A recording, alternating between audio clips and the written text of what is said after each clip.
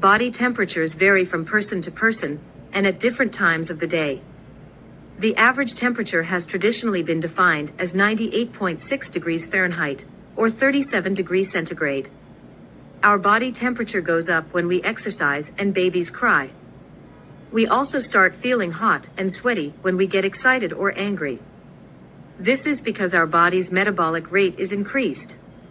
A temperature taken using an oral temperature of 100 degrees Fahrenheit or 37.8 degrees centigrade or higher is generally considered a fever. Doctors use other associated symptoms or signs to differentiate minor or serious infections or make the initial diagnosis.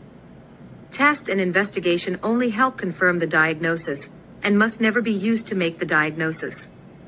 As a doctor working in intensive and critical care in hospitals for more than 30 years, I have diagnosed infections based on the story of the illness, as they have lived, experienced, and remembered it, and not using tests or investigations. Why? Because I did not have the novelty of time to wait for test results to confirm the diagnosis. Fever as a symptom does not help the doctor to make any diagnosis.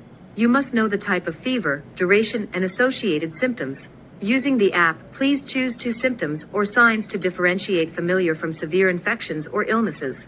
This app will help you make an informed decision as doctors do. Consult or speak to a doctor only when you must, reducing travel, cost, and the risk of getting infected in the hospital or the healthcare center if you live in India and think you have malaria, dengue fever, chikungunya, or typhoid.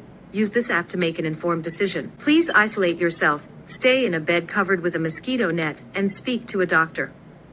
Do not rush to the hospital, clinic, or lab and infect a mosquito that will spread your infection to your family, friends, and our community.